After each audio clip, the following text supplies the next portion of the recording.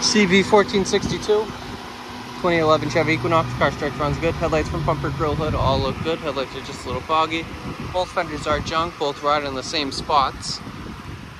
Glass and mirror made it. Front rear passenger doors both look like they're rotted on the bottoms.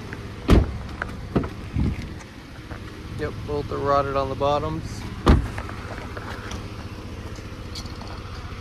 Quarter a few little dings, nothing serious. Fuel tank door, quarter glass, all look good. Taillights, rear bumper, lid, all look good. Lid does have a little chip in it, right above the emblem. Other than that, it's fine. Left taillight's good. Quarter, rotted. Quarter glass is good. Front rear driver door, same thing as the other side. A lot more rust though. It's all rotted on the bottoms. Glass and mirror made it. Again, fender's junk, rotted. More rust. Seat's got a rip. Same with the armrest.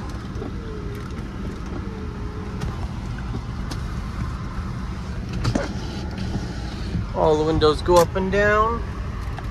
Mileage 165. Your favorite Sirius Radio works.